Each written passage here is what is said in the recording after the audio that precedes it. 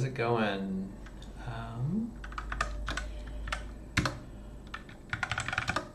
today I'm gonna do another. Um, I'm, oops. I'm gonna do another uh, MFEK stream. Uh, and today, what I want to look at is um, this issue in MFEK Glyph, which is the Shapes tool issue uh, 235 that I started. And the basic idea for this issue is that the um, the circle and oval tools aren't creating circles and ovals with the kind of point structure that's like usually expected from a font editor, which is this. And so I made this issue, and Frederick um, kindly made this response where he kind of spelled out like exactly how everything works. And he pointed out the problem and he suggested that the the answer to the issue is to use um,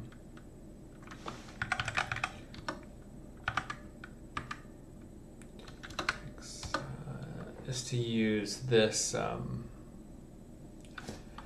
this library, uh, Kurbo, which is used for uh, RuneBender, the the other font editor I work on.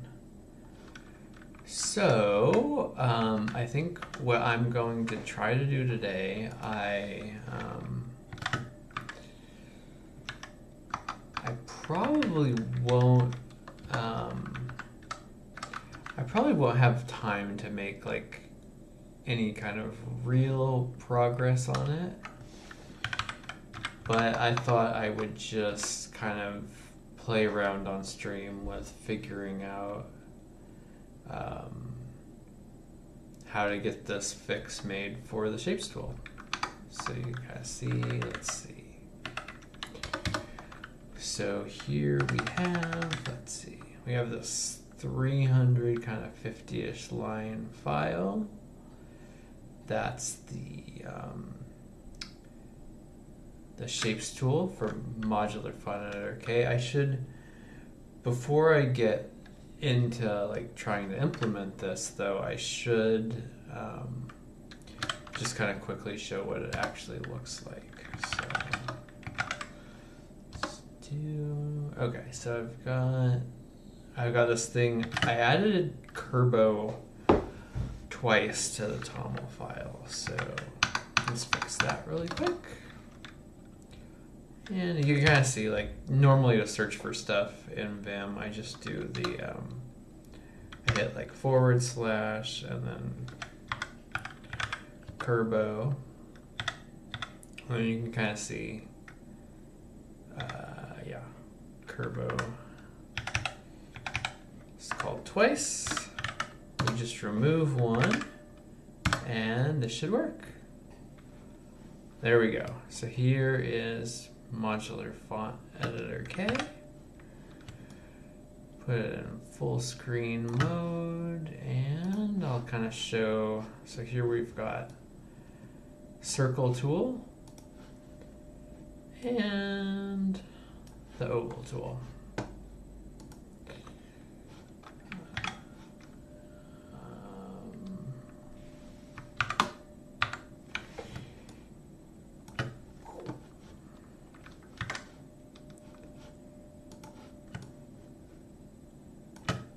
And you can kind of see like um,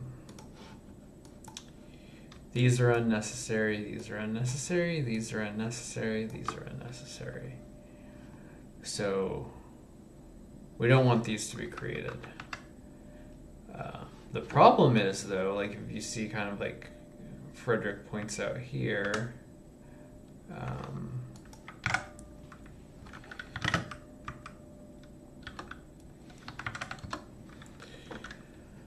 this is the draw circle function right here and it's using the like skia this like skia pathops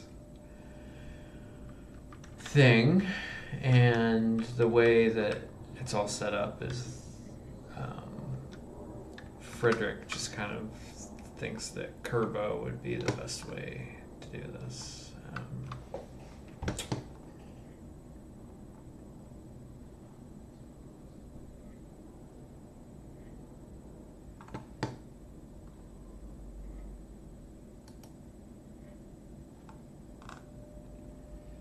So here's an example of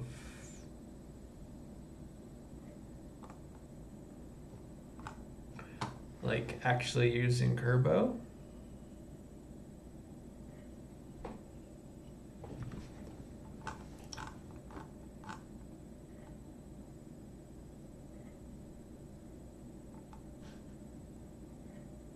Hmm, Here's all the Kurbo stuff that gets imported.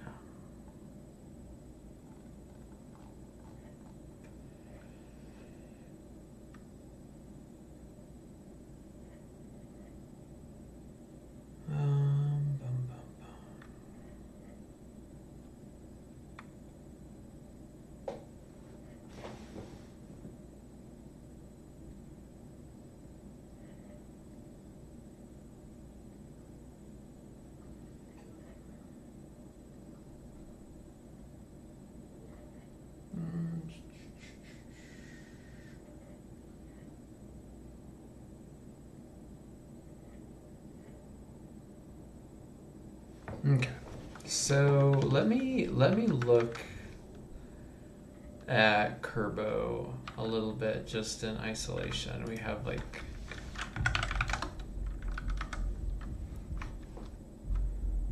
let's see.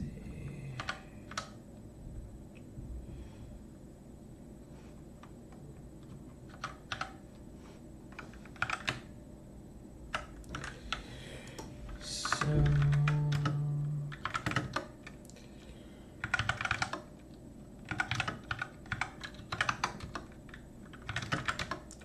we've got our circle. Let's copy that.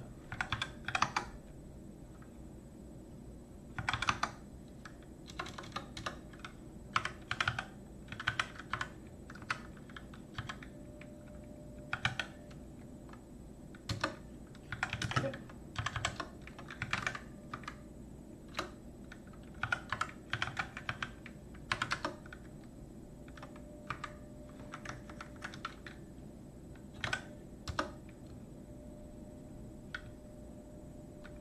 Okay. So now let's look at how we got that.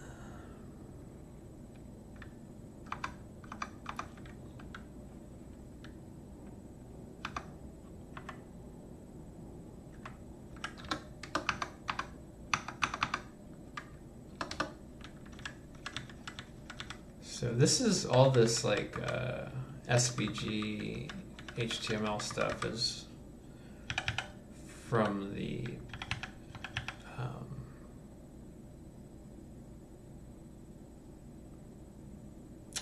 from the the original example, and we don't really need to use that.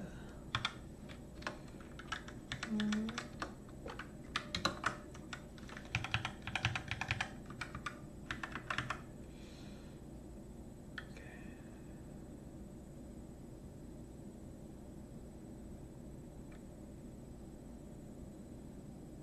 the difference between these two? Because it's like circle to path. Um,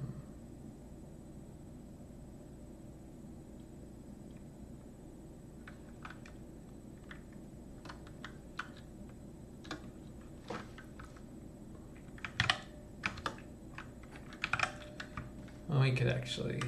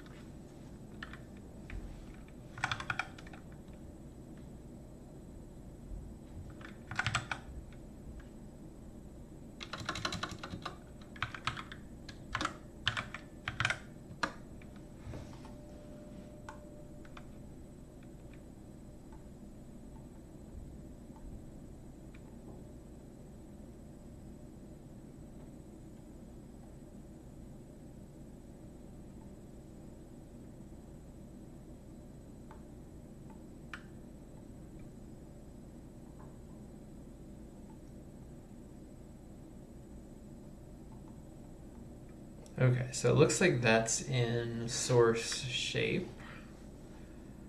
So let's take a look at that.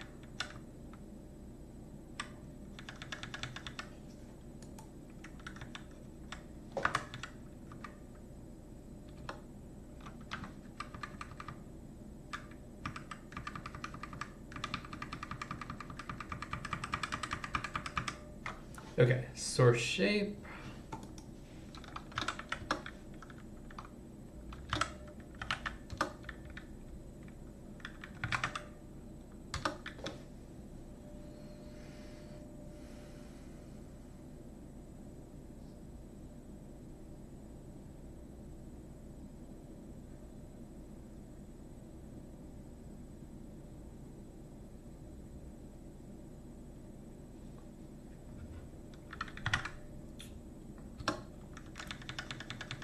That's kind of. Mm, I might just simplify this real quick. Just.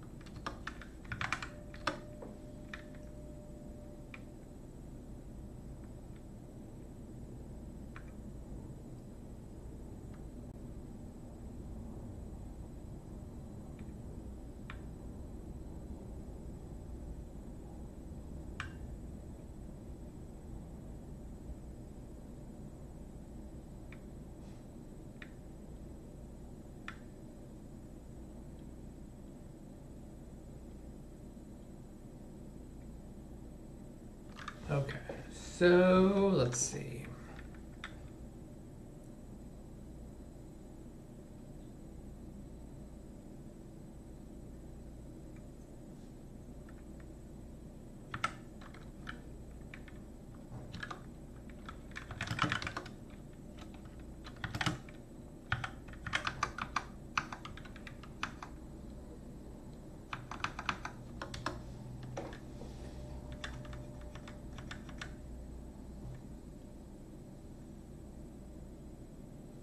Okay, ellipse.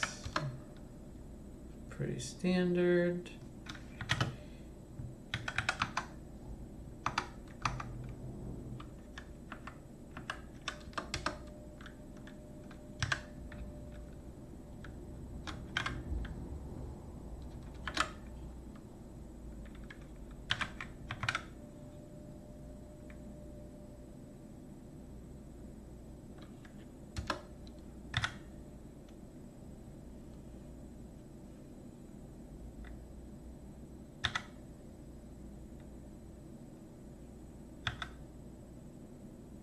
Okay, so this is, here's the two path function, two path.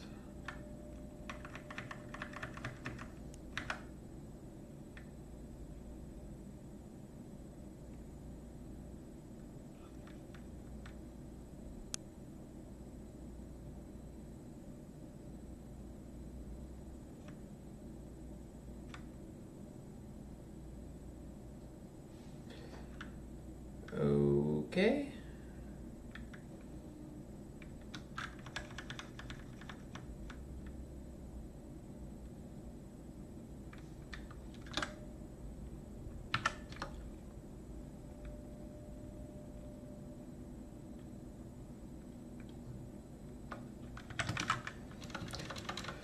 So let's try let's try to figure out how we can mm, move something like this over to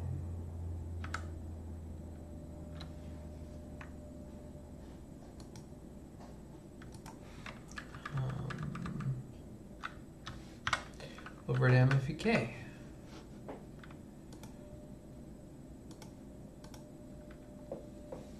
Okay, so what does he say? Let me see.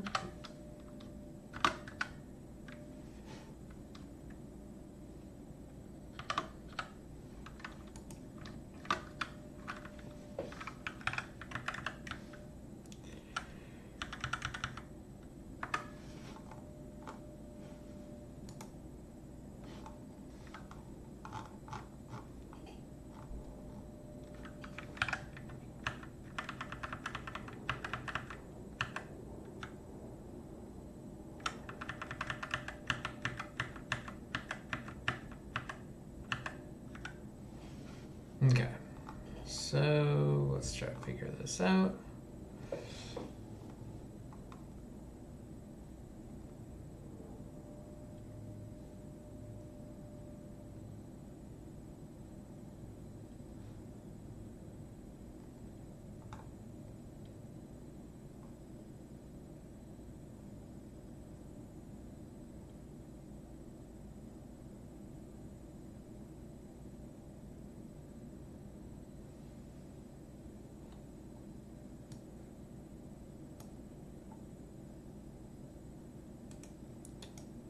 So I want to look at this trait before I do anything else. Um,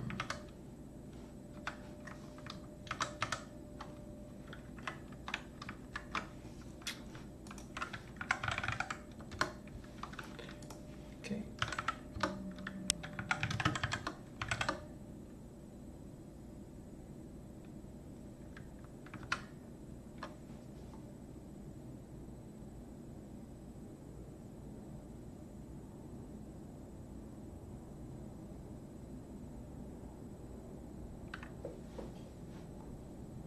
Now, outline from Skia Path.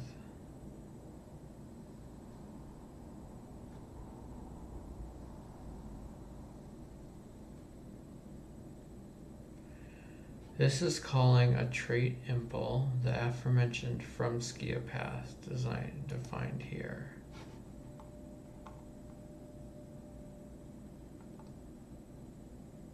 This is glyph parser from Skia Path, from Skia Path.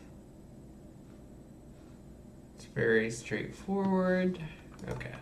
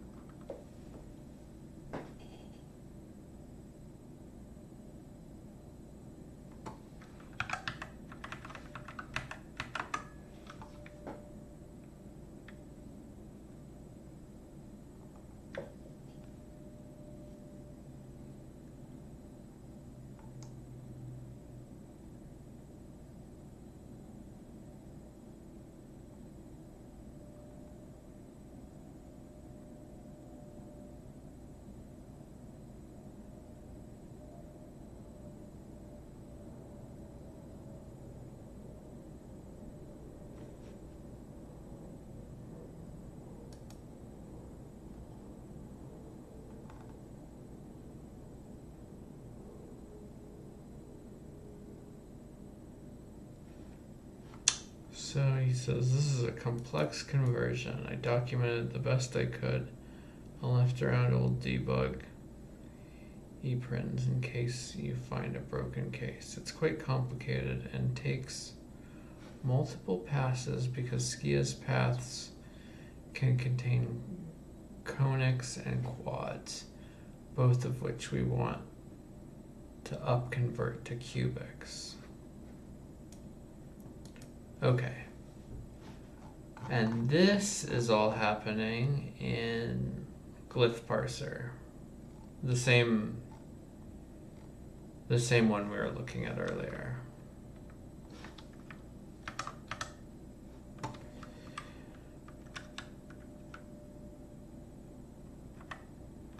So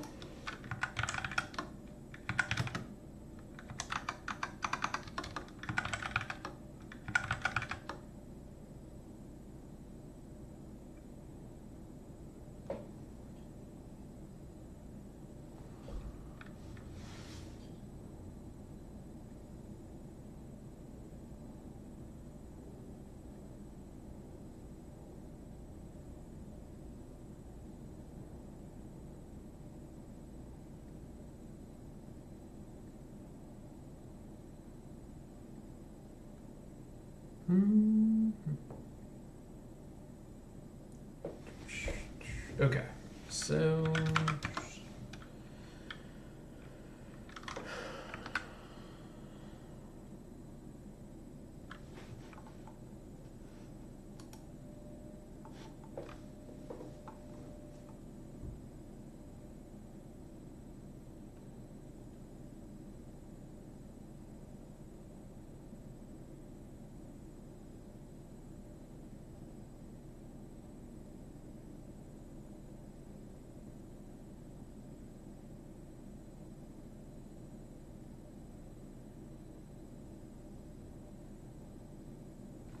problem is conics to cubics. Skia shapes created with Skia paths contain conics. Note in the comments.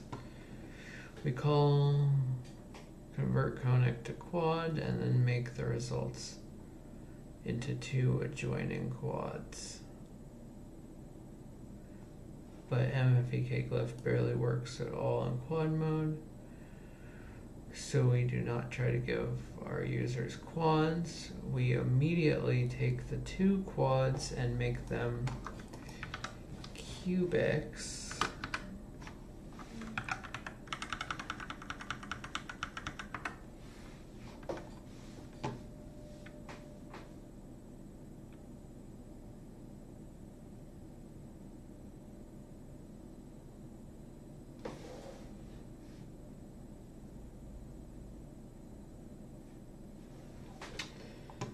So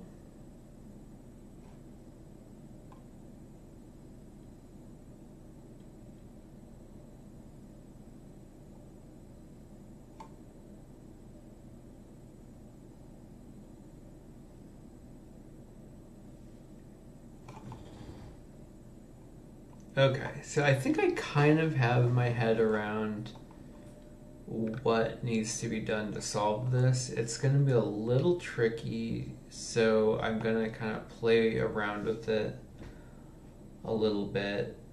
Um, and then um, let me let me try to try to figure this out on stream for a little bit, and I'll see how far I can get. But I don't think I don't think I'm gonna be able to figure out this whole issue tonight. But let me see how far I can get. Okay, so. Thus, your four extra points. So, what is the solution? I suggest instead of writing a circle generator code yourself, which is not a good habit to get into as it increases our code size, and we already have many libraries, use Kurbo. Kurbo Circle implements shape, so you should be able to quite trivially build a Bezier path. Note, this code in math rlib, which could trivially be moved to create a trait which would allow you to convert any Kurbo Bez path to and from any Skia path. Okay, so I mean that's the meat of what we want to do right there. Um,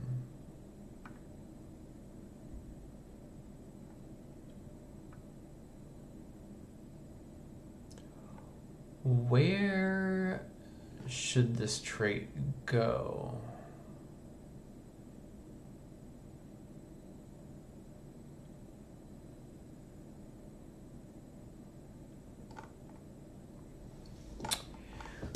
Would the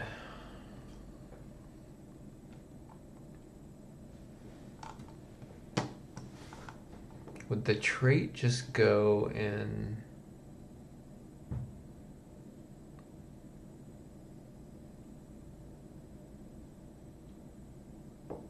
shapes?